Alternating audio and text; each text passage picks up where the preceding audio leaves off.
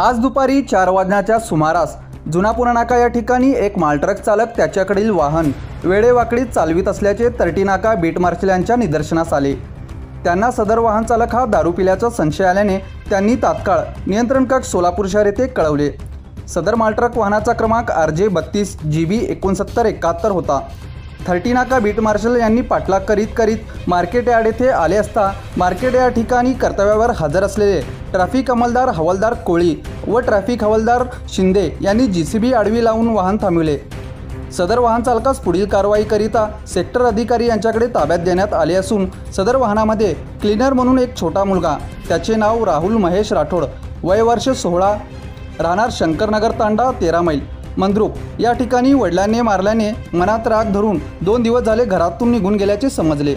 त्याचे नातेवाईक यांच्याशी संपर्क साधून त्यास नातेवाईकाच्या ताब्यात देण्यात आले.